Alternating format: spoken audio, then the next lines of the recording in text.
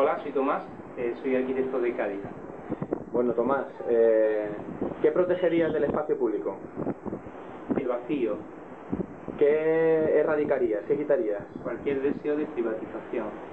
¿Y qué propondrías que no, que no, que no ves, que no existe ahora actualmente? Limpiar, limpiar de trastos, eh, dejar que el- ese vacío deseable en el espacio público se cargue con la presencia de las personas.